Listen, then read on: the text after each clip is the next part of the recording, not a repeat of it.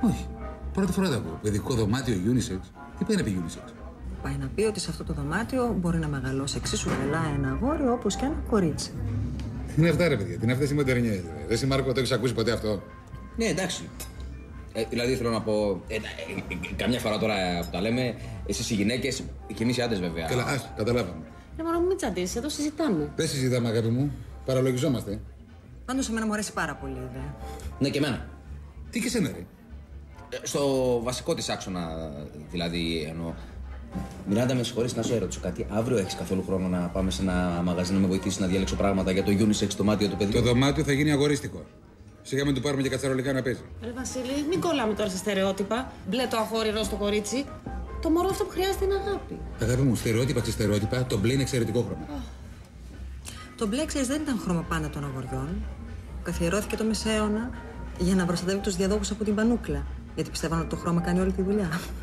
Ναι, ρε παιδιά, εμένα αυτό όμως τι με ενδιαφέρει; Αργότερα διάλεξαμε το ροζ για τα κοριτσάκια. Μέχρι τότε δεν σήμαινε τίποτα απολύτως. Σήμερα όμως σημαίνει απολύτως πολλά. Και αν σε ένα αγορίστικο παιδικό δωμάτιο του βάλεις ροζ, το κάνεις το παιδί λουλί. Κανένας σοβαρός άντρα τη σήμερα ημέρα δεν φοράει ροζ. Μόνο οι λουλίδες. Πες και εσύ κάτι, ρε Μάρκο. Για τους λουλιδέ.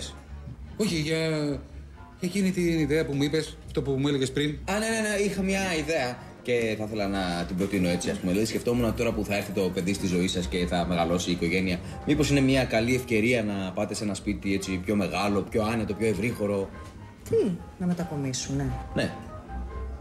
Να αφήσουν δηλαδή το ωραίο τους στο σπιτάκι και να μπουν σε φασαρίες. Πολύ κακή ιδέα, παιδιά. Ναι, συμφωνώ. Τι συμφωνείς, ρε; Ειδικά τώρα, ας πούμε, ξέρω εγώ που οι τιμέ των καινούργιων σπιτιών έχουν πάει στα ύψη, όλοι ζητάνε τη μάνα και τον πατέρα τους.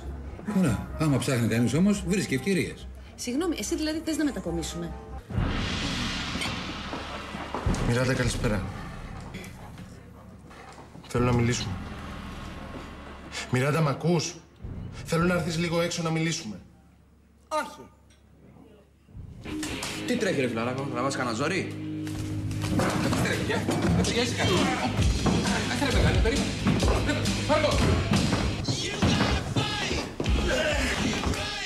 Εντάξει, εντάξει, εντάξει, εντάξει, δεν είναι ανάγκη. Οκ. Το δω λιγάκι. Μια χαρά είναι, εντάξει, δεν τρέχει τίποτα. Πρώτη φορά είναι συνηθισμένος. Λοιπόν, αύριο έρχεσαι πρωί-πρωί από το γραφείο και του τραβάμε μία μήνυση που είναι όλη δική του. Άστο, Μιράντα, ξέχνα το. Δεν είναι ανάγκη να το χοντρένουμε το θέμα. Πραγματικά. Επιμένω. Άστο, ρε παιδί μου, δεν έγινε και τίποτα. Και να σου πω και κάτι. Κακώς ανακατεύτηκα. Στο κάτω-κάτω δικό σου, προσωπικό σου θέμα είναι. Και αν θες και τη γνώμη μου, αν θες πραγματικά να ξεμπλέξεις, άστο να πάει στο διάλογο τώρα. Με αυτό θα ασχολούμαστε.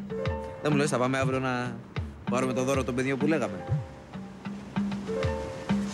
Νομίζω ότι είναι το λιγότερο που μπορώ να κάνω για σένα.